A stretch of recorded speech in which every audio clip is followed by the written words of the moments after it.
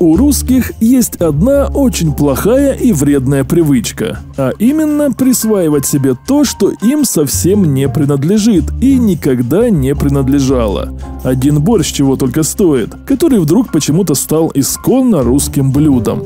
А Крым? Все же помнят о событиях 2014-го, про родную гавань, Крым наш и многое другое. Так вот, оказывается, эти крики и претензии касаются и всего юга Украины. Недавние возгласы русских про мощи Потемкина в Херсоне и их наглое воровство по личному приказу некрофила Путина. Разговоры про Суворова и Екатерину, про великую русскую историю этих городов, про их основание именно русскими. Но так ли все на самом деле? Скажу сразу, нет, не так. И дабы это наглядно показать, предлагаю отправиться в относительно небольшое историческое путешествие. Рассмотрим вкратце интереснейшую историю каждого южноукраинского города отдельно. И даже посетим всем известный Севастополь. Покажем, что город так называемой русской славы всего лишь надутая пропагандистская выдумка. И для начала отправимся в легендарный Мариуполь, который русские просто стерли с лица земли, говоря о том, что это русский город. И самое главное, что он является коридором в Крым.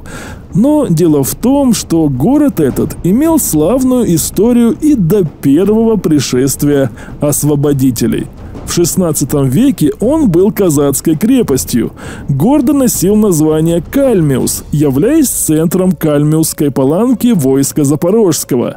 При этом она была наибольшей из паланок по размеру территории и наименьшая из паланок по количеству жителей.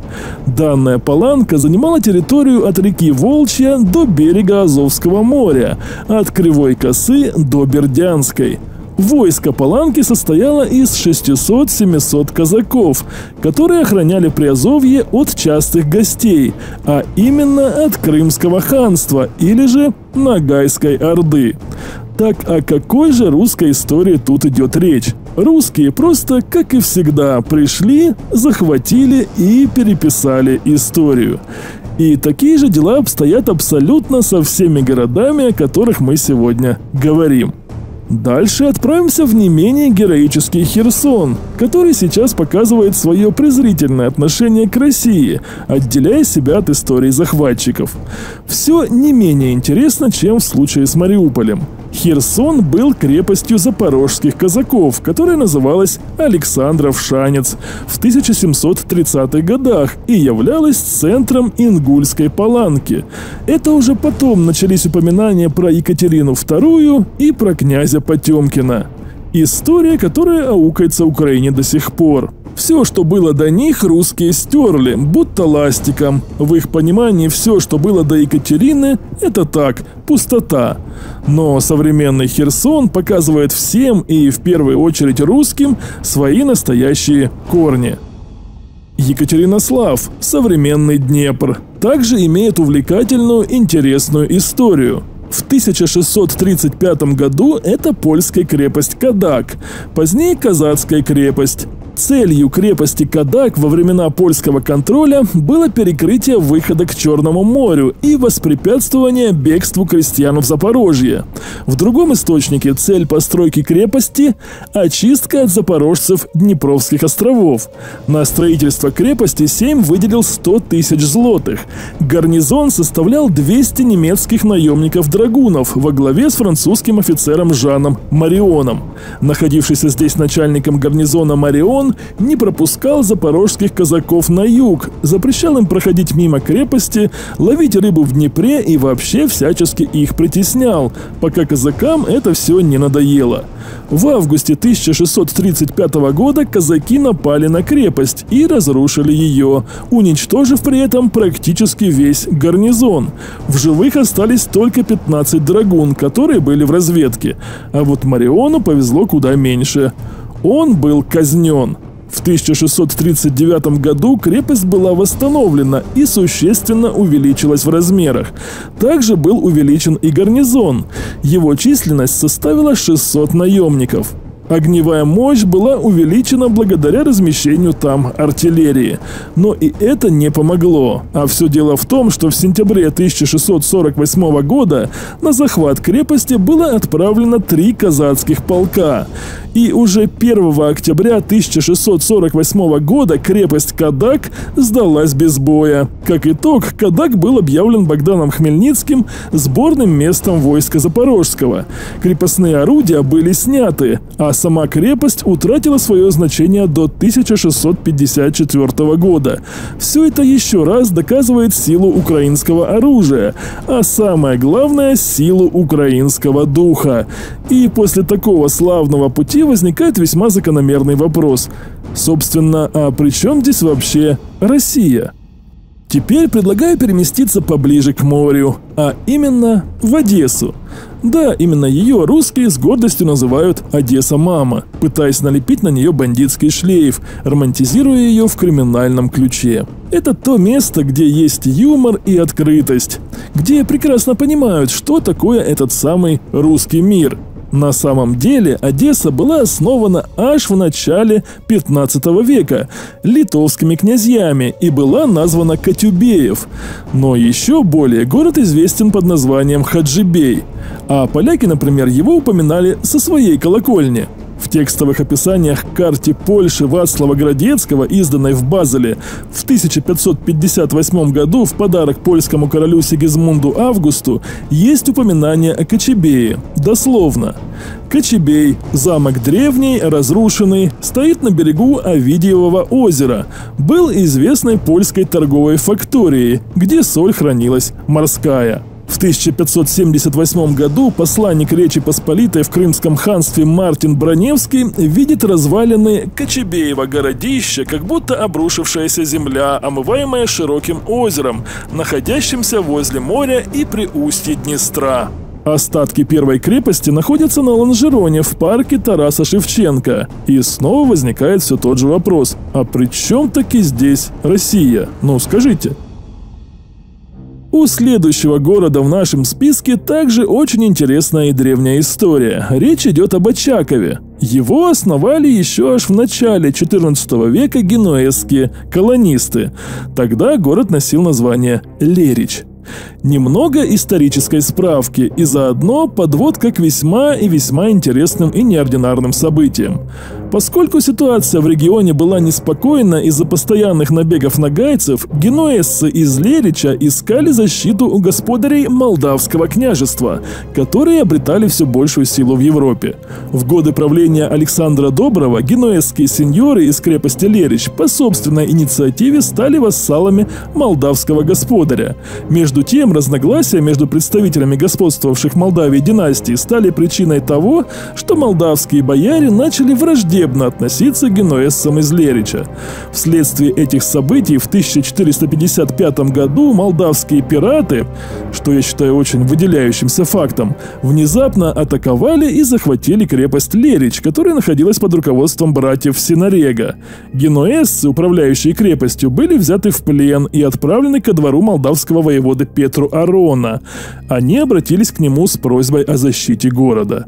Позднее крепость была усилена, так как ее стратегическое значение выросло после того, как молдавский господарь женился на византийской принцессе Марии, чья семья была в родстве с императорскими династиями Константинополя и Трапезунда. В 1502 году крепость перешла под власть османов и стала очень могущественной. Но это не помешало в 1556 году захватить и разграбить ее. В те времена такие набеги были обычным делом не только у казаков. И это опять же подтверждает то, что украинцы еще с древних времен знают толк в военном деле. И тем более свидетельствует о том, что Россия и в этом случае все переписала на свой лад. А появилась Российская империя в Очакове аж в 1737 году. А кто же основал Мелитополь? Сделали это Крымлы, или крымские татары, как называют их русские. В корне неправильное, придуманное унизительное название. Татарами московиты называли тех, кто им особенно не нравился. Итак, город был основан в 16 веке и назывался Кызяр – Обратимся к историям и легендам, которые, как оказалось, со временем нашли свое подтверждение. С давних времен, еще до прихода Карымлы в Крым, в балке Кизьяр, которая тогда была покрыта лесом, обитало племя женщин-амазонок. Да-да, так говорит легенда.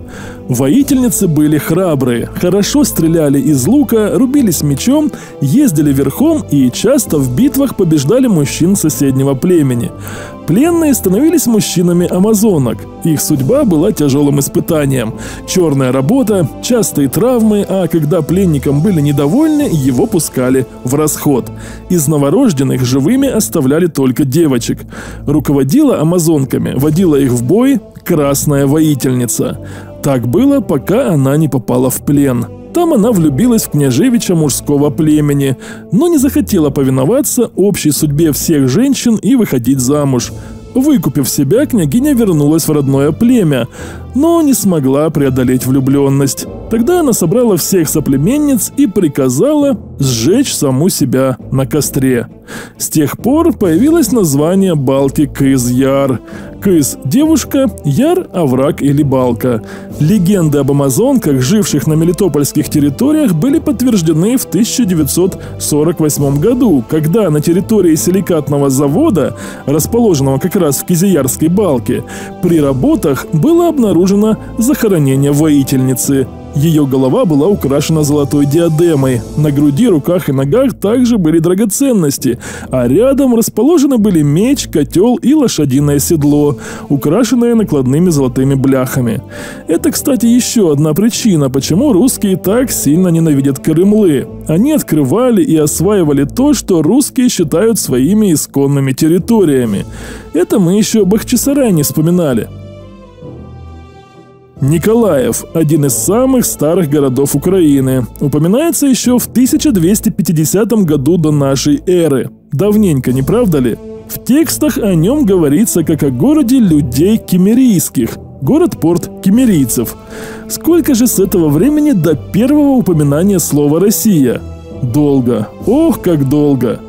В 1399 году нашей эры литовцами на этой территории была построена Витовская крепость. На первый взгляд кажется странным, как средневековое государство в степи смогло построить сеть фортификационных сооружений за короткое время.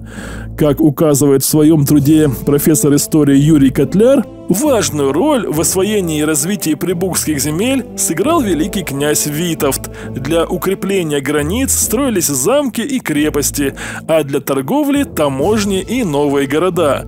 Известно, что история Витовки, как административной единицы Великого княжества Литовского, обязана таможне, построенной при княжении Витовта. Из этого можно сделать вывод, насколько тогда было развито княжество Литовское. Оккупированный по состоянию на начало ноября 2022 года Бердянск был основан в 1673 году как форпост Запорожской сечи запорожскими и азовскими казаками, которые, ко всему прочему, занимались здесь рыболовством, скотоводством и пчеловодством. Заметьте, Бердянск основан не донскими казаками и тем более не уральскими, а свободолюбивыми и сильными украинцами которые, как мы знаем, всегда доказывали свою силу делом. Русские сунули нос в Бердянск более чем через сто лет после запорожцев. Так чей же этот город исторически? Ну, явно не русский. Пришло время заглянуть в Крым, а именно в Севастополь, город так называемой русской славы, который недавно очень пышно отмечал 200-летие. Но дело в том, что ему более двух тысяч лет. А куда же делась его история? Ее просто обнулили, забыли. Россия пришла на территории Южной Украины только в 18 веке и, дабы показать свое величие, запретила историю до себя, переименовав города, создав новых героев времени. Не лишне тут вспомнить слова поэта и исследователя Крыма Максимилиана Волошина о влиянии русских на полуостров – Взамен пышных городов из «Тысячи и одной ночи», кстати, обратите внимание, как пишет Волошин, «взамен». Русские построили несколько убогих уездных городов по российским трафаретам и частью из потемкинского романтизма, частью для екатерининской рекламы назвали их псевдоклассическими именами – Севастополь, Симферополь, Евпаторий. Древняя Готия от Балаклавы до Алустона застроилась непристойными императорскими виллами в стиле железнодорожных буфетов и публичных домов и отелями в стиле императорских дворцов. Этот музей дурного вкуса, претендующий на соперничество с международными европейскими вертепами на Ривьере, очевидно, так и останется в Крыму единственным монументальным памятником русской эпохи. Что касается Севастополя как города русской славы, то миф это скрепляет воедино времена Российской империи, Советского Союза, а с недавних пор и Российской Федерации. Почему так важно со всей тщательностью подойти к его развенчанию? Любое поражение всегда вызывает к жизни механизмы компенсации, которые позволяют побежденным легче справиться с полученной психологической травмой. Потеря Севастополя в результате англо-французского штурма в сентябре 1855 года во время Крымской войны не стала исключением. В конечном итоге лучшей терапией стала героизация процесса обороны, вне зависимости от итогового результата. Первооткрывателем этого метода можно считать декабриста и путешественника Михаила Бестужева, 1 января 1856 года написавшего такие строки. Севастополь пал, но с такой славой, что каждый русский, а в особенности моряк, должен гордиться падением, которое стоит блестящих побед. Ну, после этого общим трендом стало связывать в одном предложении слова «Севастополь», «Слава», «Русский» и «Моряк». В общем, вы поняли, откуда взялась эта так называемая «русская слава». Продолжать не имеет смысла. Это все, что нужно знать о русской славе Севастополя. Хотя на эту тему можно было бы сделать отдельный подробный выпуск. Как думаете? Если немного отойти от темы, то в качестве заключения скажу, что история циклична – Сейчас мы видим, что украинская нация не сломалась, убеждаясь в том, насколько сильны и непобедимы гены свободолюбивых и смелых предков. Мы, украинцы, абсолютно уверены в том, что это последняя битва с империей, которая уже давно доказала свою несостоятельность. Империи отбирают чужие земли, стирают их историю, но они имеют одну очень положительную закономерность – распадаться – а в том, что Украина победит, а Россия распадется, уже нет никакого сомнения. Спасибо за внимание. Ставьте лайки, подписывайтесь на канал, жмите на колокольчик, чтобы не пропустить новое видео. Поддерживайте нас на Patreon. Это помогает авторам развивать канал. Кроме этого, можно воспользоваться новой функцией YouTube спонсорства. Кнопка «Спонсировать» есть возле каждого видео и на главной странице канала. До новой встречи! Всем украинцам скорейшей победы!